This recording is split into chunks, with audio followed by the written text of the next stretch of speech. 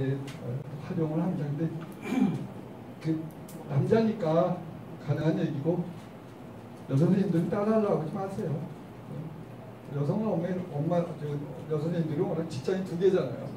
그러니까 남자 선생님들 특히 이제 30대, 20대, 30대 선생님이시라면 한번 도전해 보세요. 이게 길이 카톡이나 페이스북이 길이 열려버리면 아주 강력한 수업 수단입니다.